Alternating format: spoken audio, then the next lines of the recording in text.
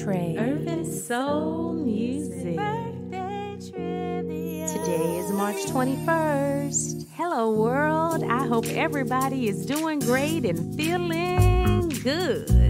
I'm so happy to be here with you today. I am Tre Rochelle, and I'm here for Tre's Urban Soul Music Birthday Trivia.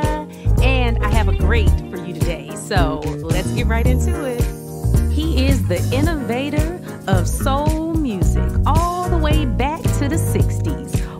rhythm and blues join hands with soul. With cuts like Cry to Me and Everybody Needs Somebody to Love and Gotta Get You Off My Mind. Who is this Bishop of Soul? Going once and one more soul second twice.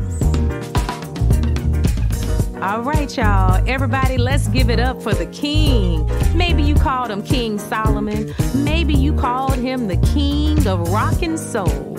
None other than Solomon Burke celebrates his birthday today. We all celebrate his birthday today by speaking his name and remembering his contributions to soul music. We wouldn't even have what we have right now called R&B, urban soul, traditional, contemporary R&B soul. We wouldn't even have that today. Yes, he was a preacher, but he brought soul, right? There we go. So we thank you for crossing those lines and for bringing us this beautiful art and genre. Thank you so, so much and happy, happy, happy birthday. We speak your name today.